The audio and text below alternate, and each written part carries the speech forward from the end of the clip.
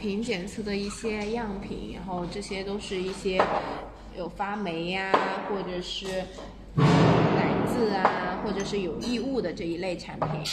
然后这个产品呢是一个比较干净的一个 OK 的一个产品。啊，然后我们现在看一下检测效果。我们先看一下它这个呃奶渍，奶渍这边的奶渍，嗯，可以看到这边，可以看到有明显的一个奶渍啊。然后我们这边拍一下，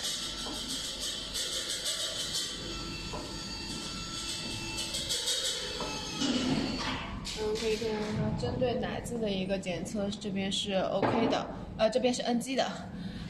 然后那个这个瓶口这边的话，由于这个奶渍会导致它的阴影起伏，所以它的瓶口这边的话也是检测到的 NG。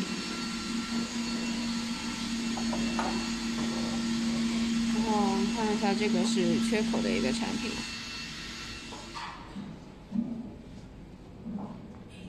我们可以看到它瓶身是干净的，是没有问题的。然后但是它这个。口这边是缺掉了，所以它这边是 NG。然后我们再看一下这个产品，那它可以有奶渍，瓶口这边的话有一点点裂。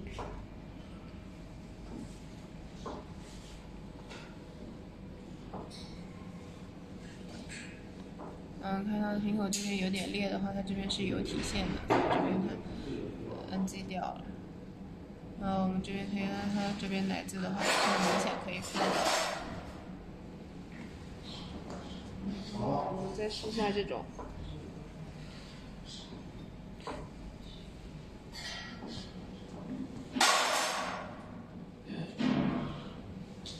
嗯，然后这边的话是奶渍还是很明显，这瓶口的话有一点锈迹，然后奶渍啊什么导致它这边的话不是均匀的一个亮色。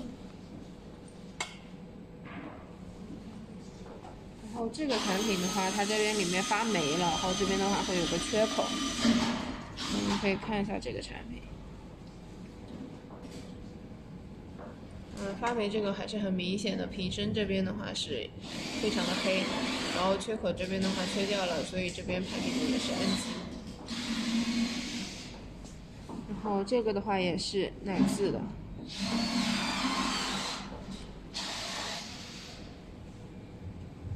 可以看到这边奶渍很明显，这边就是，嗯，这边有杂物，后瓶口这边也可以看到奶渍附在瓶口上，导致它这边有的暗有的亮，不是均匀的一个亮圈。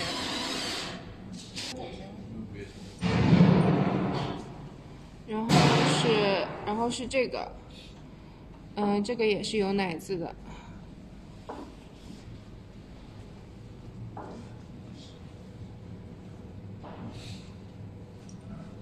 嗯，看到这个奶渍的话，可以检出来到瓶口这边的话是个，呃，是好的，是完整的一个亮的一个圈，还是 OK 的。然后我们可以看一下，这个是有异物，里面有个纸，嗯，看一下它这个产品。哦，它的异物的话，它这个瓶身这边就是自己的。然后它这个口，同样的，它这个上面会有一些附着物，导致它不是很均匀。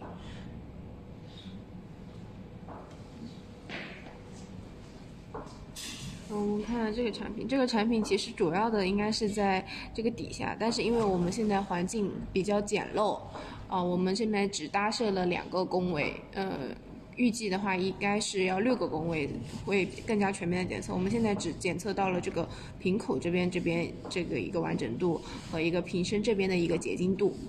我们可以看一下这个产品能否检测。那现在的话呢，主要就是看这一块，呃，这这里有有一些很浅淡的一些奶渍痕迹，我们看一下能不能检测出来。啊，这边，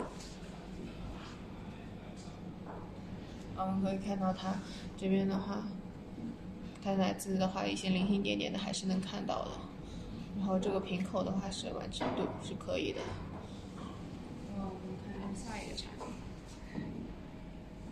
这个的话也可以看到是比较脏。嗯，看一下效果。啊，它这边图片上看还是很明显的这边。然后这个的话，瓶口的话是挺干净的一个状态。然后这边的话，这个是有一些锈迹和一些那个奶渍，我们可以看一下。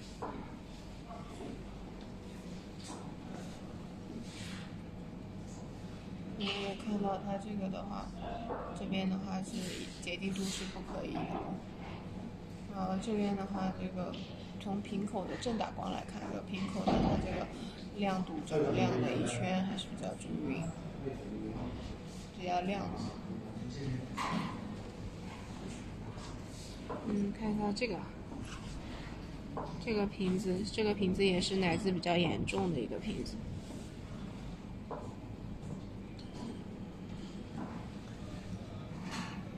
奶渍比较严重，你可以看到瓶身这边奶渍，然后瓶口它是没有缺口，它是完整的。然后这个也是奶渍。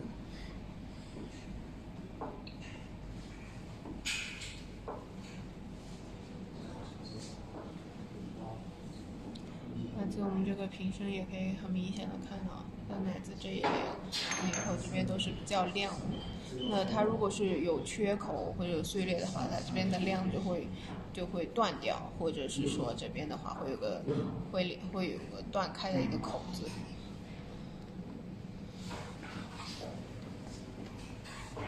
嗯，然后这边的话也是奶渍。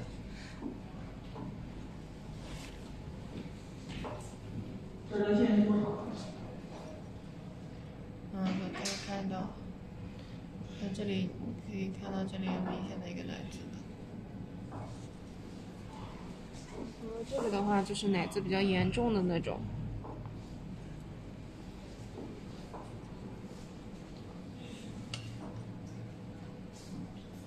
这边的，奶渍的话会比较严重。然后瓶口这边的检测的话，嗯，它是白的很均匀，然后而且它的瓶口也是完整的。然后我们看一下这个缺口的这个，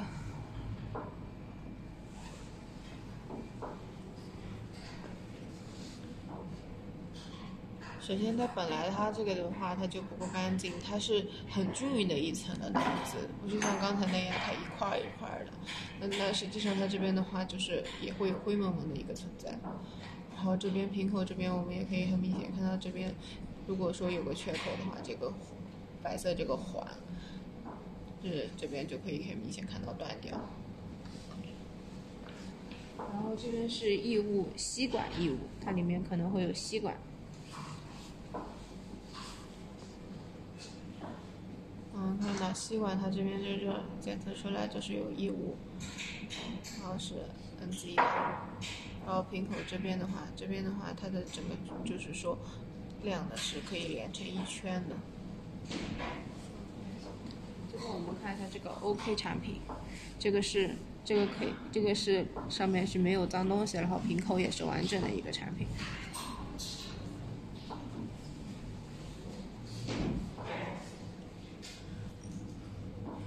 其实对比上我们可以看到，好的产品的话，这个瓶身的话是一个很干净、很白的一个状态，然后这个的话也是很均匀的一个亮色。这就是具体的一个检测效果。